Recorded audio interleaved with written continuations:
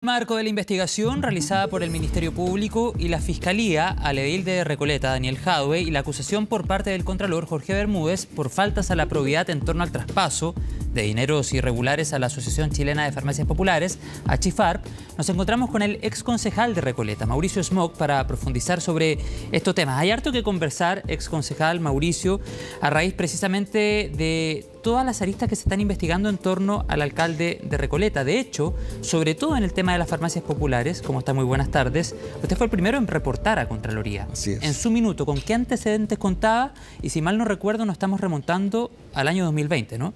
Estábamos justo más o menos en pandemia. Sí. Ya era, era una época complicada, el país estaba todo revolucionado por el miedo al contagio y todo este tema surgió con el invento de las famosas vacunas. La vacuna que iban a traer para combatir el COVID de Rusia, luego la vacuna que se intentó que la fabricara la Universidad de Concepción, a la cual eh, en el Consejo Municipal, tanto la concejal Alejandra Muñoz como yo nos opusimos a los pagos, porque según el alcalde, estaba todo autorizado por el Instituto de Salud Pública y resulta que la verdad era que no tenía ninguna autorización. Entonces era votar la plata. Y lógicamente Recoleta no es una municipalidad con grandes recursos y los pocos recursos que tienen desde mi punto de vista eh, había que cuidarlos. ¿Y tiene nuevos antecedentes pese a que hoy esté fuera del municipio? Sí, lógico. ¿Qué otros antecedentes se suman a todos aquellos que nos contaba? Con respecto a Chifar, por ejemplo? Bueno, el, el, tema de los 200 millones de pesos que el municipio le entregó a Chifar para compra de elementos y que nunca los pagó. O sea, salieron la plata de la municipalidad, llegó a la Asociación Chilena de Farmacias Populares y ahí se quedaron. Mm. ¿Cómo llega usted a esos antecedentes? Porque esos antecedentes fueron aprobados en consejo con el voto en contra mío y de Alejandra Buño. ¿Qué es lo más grave a su juicio, Mauricio Spock, ex concejal de Recoleta, de lo detectado por Contraloría y que entrega en este informe que se ha dado a conocer? Bueno, yo creo que es un poco tardío la entrega del informe. Si esto lleva tres, cuatro años investigando. ¿Sus críticas apuntan a Contraloría? Pero lógico. Yo personalmente hice la, la denuncia. Yo personalmente conversé con el Contralor. ¿Y por qué sus críticas apuntan a Contraloría? Porque ¿Qué nos está tratando de decir?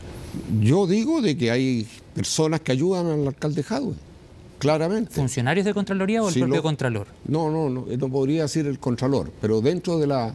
Él tiene su esquema montado dentro de, la Contraloría. ¿En qué hechos en particular se nota una ayuda como sostiene usted? Mira, la Corporación de Deportes de Recoleta se desaparecieron 4 mil millones de pesos. Se hicieron las denuncias a la Contraloría, la Contraloría nunca investigó la Corporación de Cultura. Se hicieron las denuncias, nunca investigó. Ahí tienes dos ejemplos.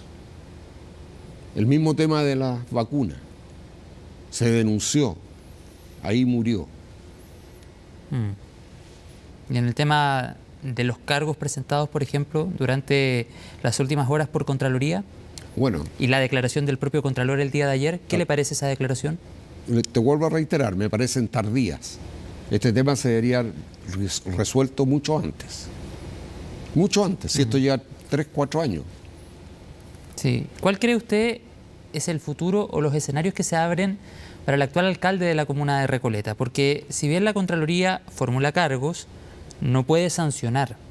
Sin embargo, sabemos también que el Consejo Municipal de Recoleta está compuesto mayoritariamente por personas de izquierda. Así es. ¿Hay algún, alguna posibilidad, bajo el juicio suyo como ex concejal, de que eventualmente el alcalde de Recoleta en algún momento deje el cargo si esta investigación sigue avanzando o se siguen reuniendo más antecedentes? ¿El Consejo lo permitiría, por ejemplo? No, el, el Consejo no lo va a permitir. Aquí la única posibilidad, porque están todos involucrados. Por eso le pregunto, no, no, ¿cuál es la única posibilidad de que eso llegase a concretarse? La única manera que esto llegara a concretarse es en la medida que el Ministerio Público eh, analice las situaciones y tome las medidas del caso. Desde mi punto de vista esa es la única solución, porque los concejales están todos comprometidos con el actuar del alcalde Jado. todos. ¿Y ve posible que llegue al Ministerio Público? Bueno, estamos en el Ministerio Público ya. Sí, claro, pero particularmente por el tema de las farmacias. Sí, lógico, pues si vas, según la prensa, va a, a ser formalizado en los próximos días. Lo desmiente el abogado Sepúlveda. Pero ¿quién es el abogado Sepúlveda? Cuénteme quién es el abogado Sepúlveda. El abogado Sepúlveda, en lo personal me deja mucho que desear. Te pongo un ejemplo. El abogado Sepúlveda es el abogado de Itelecom. En el juicio de Itelecom con la Municipalidad de Recoleta, el señor cumple la doble labor. Abogado de, de Daniel Jadwe y abogado del señor Lefort. Entonces, el, el señor eh, Sepúlveda está imputado en la causa. Entonces no me cae en la cabeza que un abogado que está imputado esté defendiendo a una persona que está acusado de cohecho. ¿Tiene antecedentes como acreditar aquello? ¿De qué? De que efectivamente está cumpliendo ambas funciones. Pero si sale, salió en todos lados, está en la prensa, en todos lados. Él es el abogado del EFOR. ¿Cuáles son, a su juicio, Mauricio, los antecedentes claves en todo esto? Que finalmente pudiesen hacer, por ejemplo, llegar el caso farmacia al Ministerio Público y que se concrete esta formalización de la cual se ha hablado bastante durante los últimos días, que salió es. publicada en el diario La Tercera, pero que desde el lado de la defensa niegan. ¿Cuál cree usted? Esa es la estrategia. Obviamente, Esa es la obviamente. Pero ¿cuál cree usted es el antecedente clave que pudiese determinar que finalmente una formalización sí se concrete? Mira, el desmentir es una estrategia del abogado. Yo pongo dos juicios en forma paralela. El juicio del Liceo Valentín Letelier y el juicio de Achifar. Ujú. Ayer o anteayer el alcalde Jadwe decía en los medios televisivos de que él no conoce a los personajes de, de la empresa Quality, que no tiene idea quiénes son, que no los conoce, que nunca se ha reunido con él. Y esas mismas respuestas yo las llevo a un juicio anterior que se tuvo con el señor eh, propietario de la empresa Rosachi cuando se destapó el tema del, del acto de pago de 70 millones de pesos para que entregara eh, una licitación en forma directa, un contrato en forma directa de la mantención del Liceo Valentín Letelier por un monto de mil millones de pesos aportados por el gobierno central, respondió exactamente lo mismo. Al señor no lo conozco, no lo he visto nunca, nunca ha estado en mi oficina. Va el señor a dar su testimonio a, a la Bride y dice yo me reuní con el señor Jago en tal parte, estaba este, este, este y este. Yo conversé con él, él me ofreció esto, me ofreció pega en otros lados, que efectivamente se cumplieron donde le ofreció pega en otros lados. Y así sucesivamente. Él desconoce todo, parece que le viene amnesia de repente. Él desconoce todo. Y mientras usted estuvo en el municipio como concejal, ¿se enteró o a lo menos vio o tuvo antecedentes de ciertas maneras de operar que, por ejemplo, terminaran provocando bonificaciones, que es precisamente lo que hoy día se investiga? ¿sí? ¿En qué cosas particularmente? Eh, Porque hoy día se habla de estos insumos médicos que habrían llegado a la sede del Partido Comunista en la comuna de Recoleta. Sí. ¿Vio modus operandi similares? Sí, el, caso de Telecom, el caso de Liceo Valentín Letelier, y así sucesivamente. ¿Usted aspira a llegar a la municipalidad de Recoleta? Yo ¿A postular Yo a la espero. alcaldía en las Yo- próximas yo- elecciones? No sé si en las próximas, pero yo espero. ¿Y por qué espero? Porque yo soy un recoletano de verdad. Yo soy nacido, criado y vivo en Recoleta. Recoleta para mí es todo.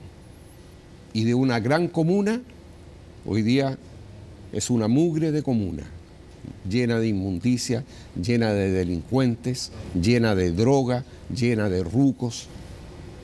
Si es cosa de que ustedes se paseen por las calles principales de Recoleta y se van a dar cuenta en el estado en que se encuentra Recoleta hoy día. Mm. Quisiera para terminar, Mauricio, profundizar en lo que usted señalaba hace algunos minutos atrás respecto a la Contraloría. Usted daba a entender una cierta protección Sí. de determinados, de Sí. determinados funcionarios. Sí. ¿Tiene información de qué funcionarios estamos hablando o de qué No. cargos cumplen o qué rol ejercen No. en la Contraloría? No, no, no. ¿O es una deducción suya? Porque Eh, pero es una- no es, es- una acusación sencilla. Es- no, pero es que asumo la responsabilidad de lo que digo. Porque yo te pongo otro ejemplo. Yo personalmente tengo un juicio con el señor Cadwe hace ocho años. Ocho años. Y está comprobado de que él cometió eh, un error gravísimo de perjudicar a personas de la comuna de Recoleta, haciendo uso de su cargo, como es la no entrega de la recepción final del edificio, el famoso edificio de la calle Bellavista. De Bella Vista, sí. ¿ya? Entonces, eh, como te digo, ahí está claro de que él es así, él actúa así. Y es un edificio que nunca, nunca, y que la gente que está escuchando y viendo, nunca lo va a poder demoler. Por una razón muy simple, de que el edificio fue construido con un permiso de construcción que a la fecha está vigente. O sea, Él está presionando a la empresa a la empresa inmobiliaria, porque él pidió cosas a cambio para entregarle la recepción final. ¿sabe qué cosas a cambio? Exactamente. ¿Qué cosas? Dos pisos. ¿De propiedad? Sí, ¿Y es así? así es.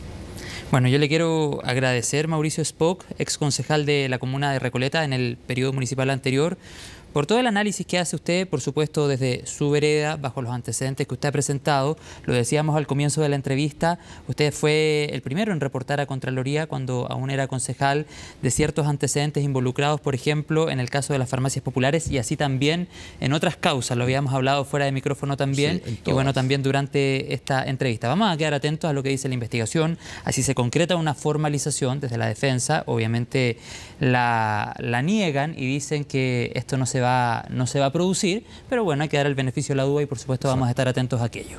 Yo lo que les quiero decir de que hoy día la municipalidad de Recoleta es una caja de sorpresa. Esto va, va a ir destapándose día tras día. Y lo demuestra la persona que está tratando de postular al cargo de alcalde por el Partido Comunista, partido del señor Jadwe, que es familiar de Daniel Jadwe. Entonces, hoy día, ¿qué es lo que pretenden? Es buscar una persona de entera confianza de Jadwe para poder tapar todas las irregularidades que hay en la municipalidad. Estas seis o siete que hemos conversado o intercambiado ideas, eh, son muchas más que se van a ir destapando con el tiempo. Bueno, vamos a quedar atentos a los antecedentes y a las investigaciones. Muchas gracias por su tiempo y que tenga una buena tarde. No, pues muchas gracias a ustedes por invitarme y estoy disponible para aclarar y aportar toda la información que ustedes necesiten. Muchas Porque gracias, Todo Mauricio. lo que yo he planteado aquí está todo respaldado con información. Aquí no hay eh, disparo a la bandada. Aquí están las cosas claras, están las carpetas investigativas, está todo el estudio que se han hecho en cada uno de los juicios, está todo clarísimo. Yo tengo la película clara, por eso que yo lo planteo de esta manera, porque no tengo miedo de decir lo que, lo que existe, porque es la verdad. Se lo agradezco.